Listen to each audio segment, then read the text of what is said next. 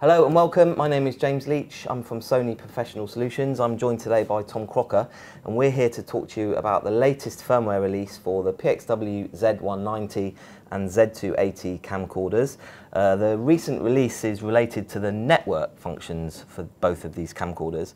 Um, perhaps you can give us a little update on what this actually means and what the customers can, can get from the firmware. Absolutely. So the networking is a really big issue these days because the way that we've built these cameras, and it's been evolving for quite some time, um, particularly if you look at the previous generation, the X200 and the X180, we had a few different network functions in there.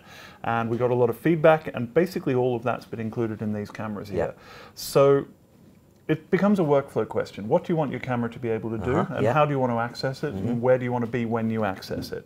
And the answer is basically anywhere and everywhere yeah. for all of it. So. Okay. What we needed first was a really robust way of connecting it to the internet, whatever internet that might be. So you can see, for example, on the 280 here, we have two simultaneously connected 4G sticks. Um, very straightforward, allows us to put in subscriber SIMs and okay. connect it to a mobile network with two connections at once. Okay, so that's two USB ports on both camcorders. Two right? USB ports on both camcorders. That's a great time to point out that everything I talk about with the networking is exactly even between the two of them. Yes. Uh, they're basically the same. The only difference is that if you're the owner of a Z190, you'll need to get a license key to activate the networking okay. functionality. Understood. It comes out of the box on the 280. Yep.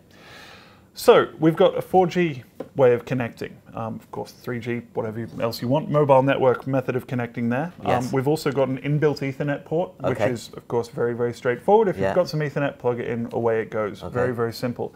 Another key thing is that we now have inbuilt Wi-Fi within the body. In right, the okay. previous generation, we had an external dongle. You had a USB port, but you had to make a decision about how you wanted to do it. Right.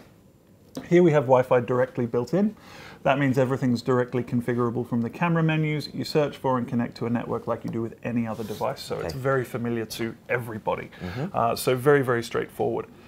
So whatever type of internet you've got, we've got a way to get you onto it. Right, okay. Then it's a question of what you want to do with it. Yeah. And this is where things get really, really interesting with these two cameras. So of course, we can stream in a number of different ways. Mm -hmm. We've got MPEG 2 TS if you want to do that straight out of the camera. Very simple, something everyone's familiar with.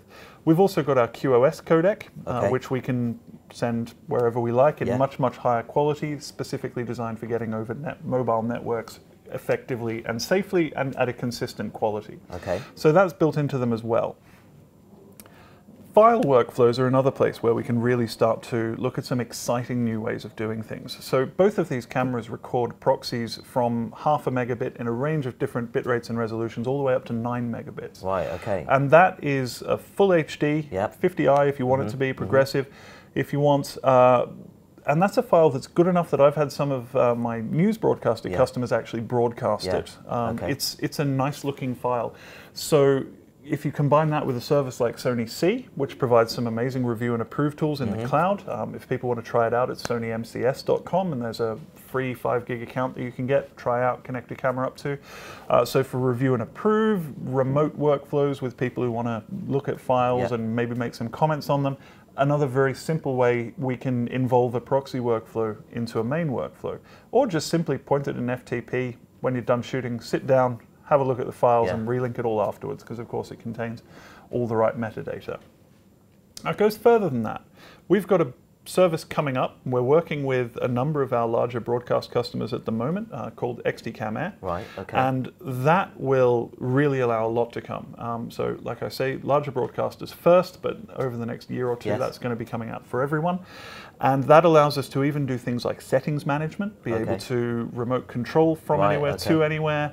Um, and basically monitor where a camera is, what it's doing, how it's mm -hmm. working, yep. and basically turn every resource within the camera that you might want as part of a workflow into an accessible resource for whoever needs it at whatever time.